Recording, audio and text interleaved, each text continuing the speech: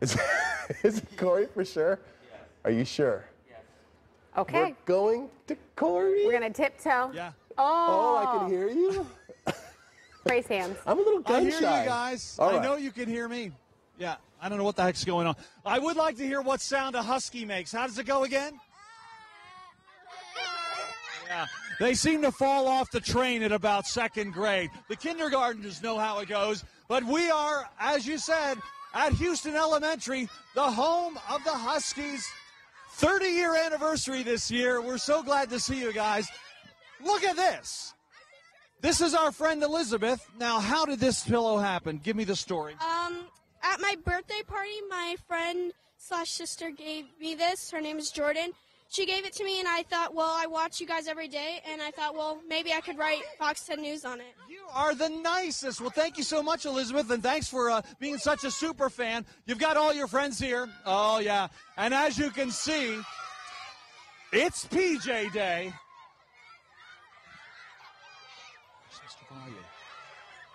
That means we wear whatever we want. Now, of course, the teachers are more demure. Uh, I love your PJs, by the way. Come on out, just show us what you wear uh, when night falls. Little pencil skirt, some low boots, and a cowl neck. Perfect. oh my gosh, I love it when the kids are up early. They're dabbing. They're are people still dabbing? By the way, we thought that dabbing was uh, was on the way out, but apparently it's still holding strong here in Gilbert. And uh, by the way, sweetheart, you've got your friend Husky here. Does Husky have a name?